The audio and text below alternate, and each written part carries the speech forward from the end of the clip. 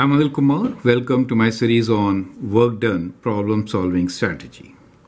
The question here is Six men and eight women can do a piece of work in 10 days. 26 men and 48 women can do that work in 2 days.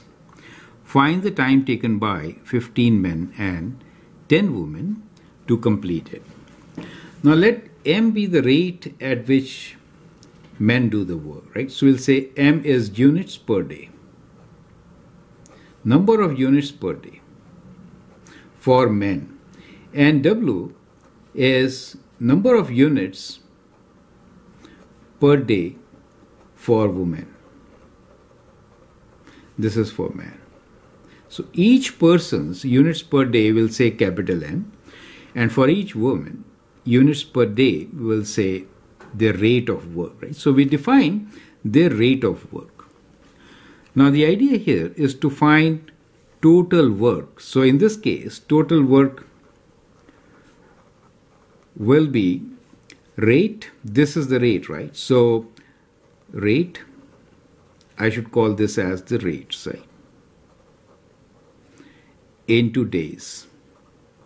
So when you multiply units per day with days, when you say, think about it, units per day times day, then what you get is units.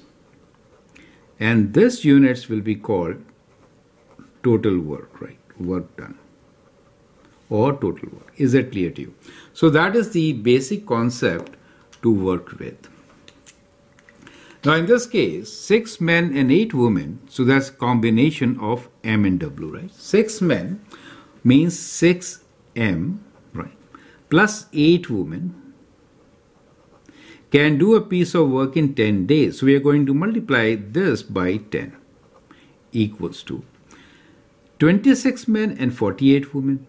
26 men plus 48 women in 2 days. So we get our equation. So this equation tells us how the same work is being done by two different groups. Now we could simplify this and then find the ratio of M and W, right? So basically we could just divide, simplify this. So what we get here is 6 times 5 let me write down, we will write in two statements, right? So 8W times 5 is equals to 26M plus 48 women.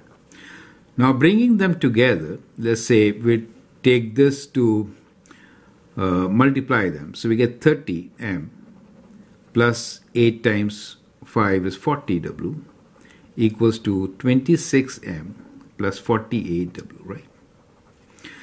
So we can write this as 30m minus 26m equals to 48w minus 40w.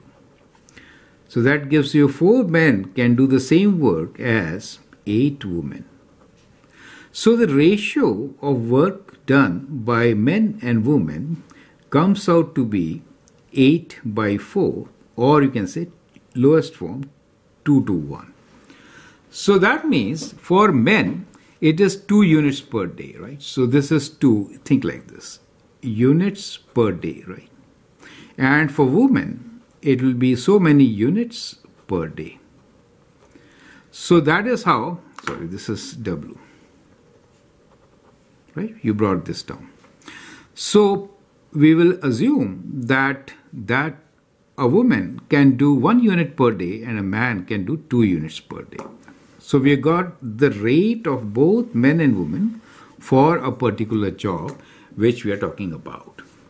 So now we can define total amount of job. So total work.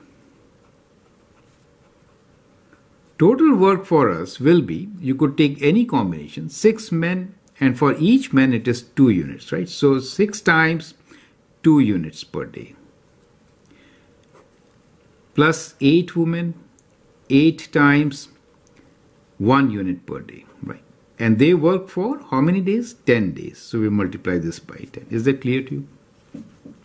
So that gives you 12 and 8 which is 20 right times 10 which is equal to 200 so we have 200 units of work what do we need to find we need to find time taken by 15 men and 10 women so time will be equal to total work over rate. So in our case, total work is 200 and we are going to divide this by the group 15 men. So 15 men will mean 15 will work at the rate of 2 units per day. This is total number of units plus 10 women. 10 women will work at the rate of 1 unit per day. Correct? So we get 200 divided by 30 plus 10 which is 40 correct so from here we get our answer which is 20 divided by 4 as 5 days so in this case we saw that 15 men and 10 women can complete the whole job in 5 days perfect so that is how these questions can be solved I hope it makes sense. Feel free to write your comment, share your views, and if you like and subscribe to my videos, that'd be great. Thanks for your time and all the best.